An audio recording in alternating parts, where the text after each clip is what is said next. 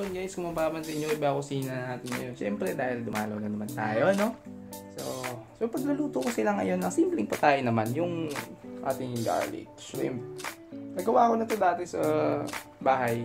Pero ngayon, try natin dito. So, sisimulan na natin to guys. Salamat. Tara! So guys, simulan na natin to. Hinugasan na natin yung ating hipon at nagtitpit na tayo ng bawang at ating nagtarin to. Tapos ngayon, nagpamelt na tayo ng butter sa ating pan. At ilagay na rin natin itong garlic. Ah, prituin mo ng konti hanggang sa maluto ng konti. At sabay ko lang yung hipon mo. Yan. Konti lang tayo guys ha. One fourth lang to. At aluin mo hanggang sa maging orange. Orange na orange. Tapos lagyan mo ng paminta. Paminta ha yung totoong paminta. Tapos, yan, haluhaluin mo, maluto ng konti. At ilagay mo na yung oyster sauce. Ay, oyster sauce, konti lang, baka mapaalat.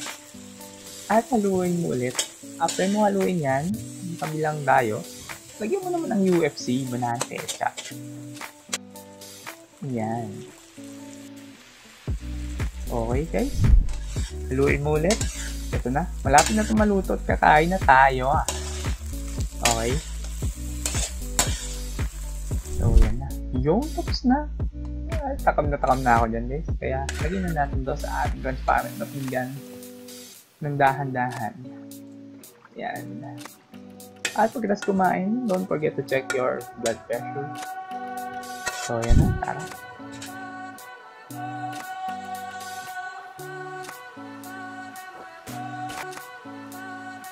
Kapagod ng linis.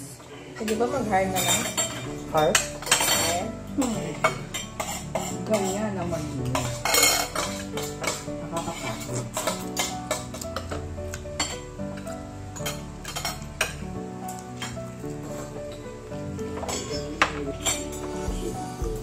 Maalat?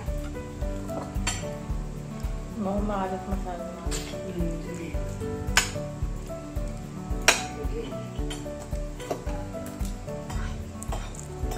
Ano binablog mo? Dapat pakita mo yung pagkain mo. Eh. Kumakain. Vlog tayo. Para siya magmumukbang. Eh kasi hindi naman nakikita yung pinakain mo. Parang si ano,